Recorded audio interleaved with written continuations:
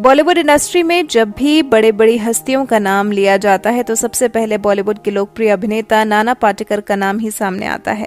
बता दें कि इनके पास एक्टिंग और दमदार आवाज़ का जो मिश्रण था, उसने इन्हें बाकी सभी स्टार से अलग पहचान दिलाई थी। लेकिन दोस्तों, आप इस दमदार अभिनेता के बारे में तो सब कुछ जानते हैं, पर क्या आप इनके रियल लाइफ पत्नी और बेटी के बारे में भी जानते हैं कि वो कौन है, क्या करती हैं और कैसी दिखती हैं? अगर आप भी इनकी पत्नी और बेटी के बारे में जानना चाहते हैं तो बने रहिए हमारे साथ इस वीडियो के अंत तक। साथ ही इस दमदार अभिनेता नाना पाटेकर के लिए आप हमारी वीडियो को लाइक करना ना भूलें। बॉलीवुड के बेताज बादशाह कहे जाने वाले अभिनेता नाना पाटेकर का असली नाम विश्वनाथ पाटेकर है, जिनका जन्म एक जनवरी उन्नीस सौ इक्यावन को मुंबई में हुआ था। इन्होंने अपनी शुरुआती पढ़ाई वहीं से एक सरकारी स्कूल से की थी और बाद में मुंबई यूनिवर्सिटी से ग्रेजुएशन की डिग्री हासिल की। अगर बात करें इनके एक्टिंग करियर की तो इन्होंने साल उन्नीस सौ अठहत्तर में आई फ़िल्म गमन से बॉलीवुड डेब्यू किया था, पर इस फ़िल्म से उन्हें कोई पहचान नहीं मिली, जिसके जिसके बाद इन्हें साल उन्नीस में फ़िल्म अंकुश में समाज से नाराज़ एक बेरोजगार युवक का किरदार निभाने का मौका मिला और इन्होंने उस किरदार को कुछ इस तरह से निभाया कि ये किरदार आज भी लोग याद करते हैं। वहीं इनके इसी शानदार प्रदर्शन को देखकर बाकी निर्माता निर्देशक भी काफ़ी प्रभावित हुए और इन्हें अपनी फ़िल्मों में बतौर लीड एक्टर काम करने के लिए ऑफ़र देने लगे।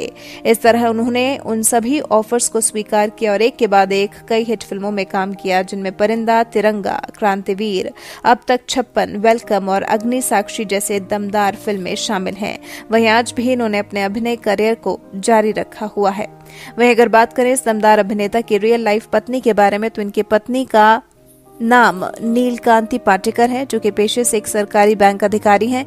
बता दें कि नाना पाटेकर ने इनके साथ साल 1978 में शादी की थी और ये शादी इनके माता पिता की इच्छा से हुई थी। इस शादी से इनके दो बेटे हुए, जिनमें इनसे इनके एक बेटे का देहांत पहले ही हो चुका है और इनके छोटे बेटे का नाम मल्हार पाटेकर है। वहीं बात करें नाना पाटेकर की शादी के बारे में तो बता दें कि आज ये दोनों एक दूसरे से अलग रहते हैं, क्योंकि नाना पाटेकर शादीशुदा होने के बावजूद अपने बच्चों का ख्याल न रख पाकर इंडस्ट्री के कुछ अभिनेत्रियों जैसा कि आयशा झुलका और मनीषा कोयराला जैसी एक्ट्रेसेस के साथ अफेयर रखते थे।